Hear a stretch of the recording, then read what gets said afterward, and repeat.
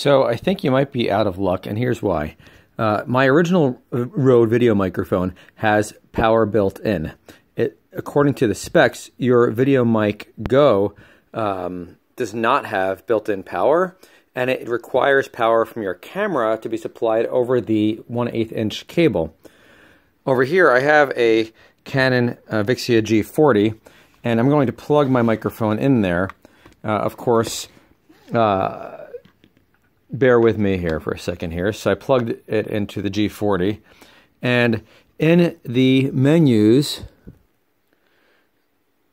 give me a second here, uh, in the menus,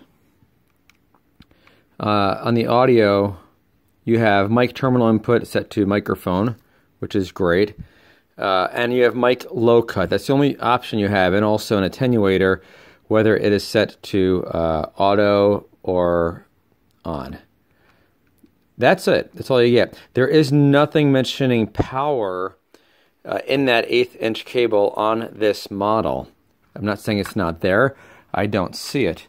Over here on this camera, I have a newer uh, model, the G50, and we're going to go into the menu. I am also plugging in the microphone onto this camera because uh, sometimes different options become enabled when things are plugged in.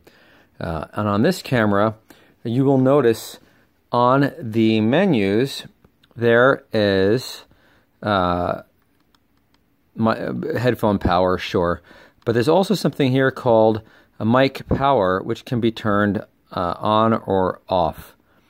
And if it was on, I think for a camera that supports it, it would work with that microphone. I suspect that microphone will not work with an, uh, the G40 if it does not supply power over that cable. Sorry to be the bearer of news. You can research it some more, but that's what I am seeing just looking at the menus here.